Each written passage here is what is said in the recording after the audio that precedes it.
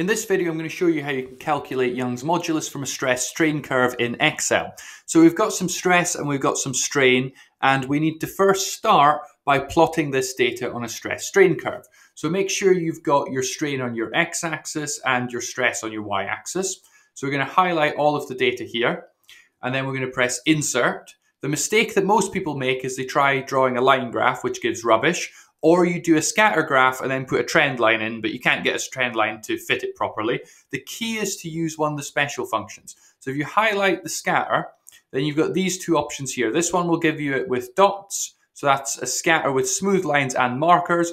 Or if you just want the line, you can use this one. I'm going to show the markers, which is going to make it easier to figure out what our elastic region is. So here we've got a plot. So let's make this a bit larger so it's a bit easier to see. So the key thing we need to do now is identify where the elastic region is and where the plastic region is. So the elastic region is where you have a perfect straight line.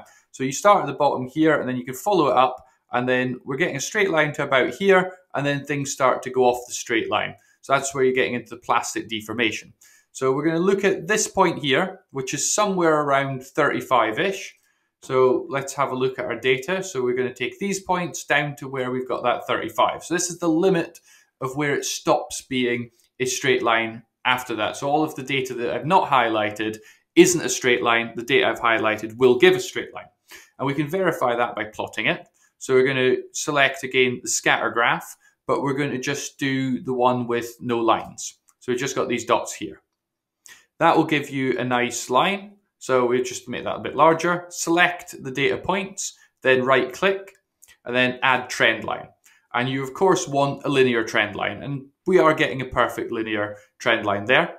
What you want to do is display the equation on the chart. It's giving you the number with the gradient um, in front of the x, and then you've got this little number which is showing you to some extent the error. You're using real world data. In theory, the line should go through the origin. And in fact, there is a function to set the intercept at zero, zero.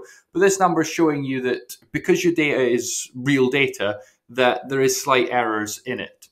But since it's small, that's quite reassuring. What you can also do is display your R squared value. We've got R squared equals one. That's measuring how good the regression line is. If that number is far away from one, then you've got a problem. So this number that we've got in front of the x, the 2098.4, that is your Young's modulus in megapascals. So if you wanted it in gigapascals, you just divide by a thousand.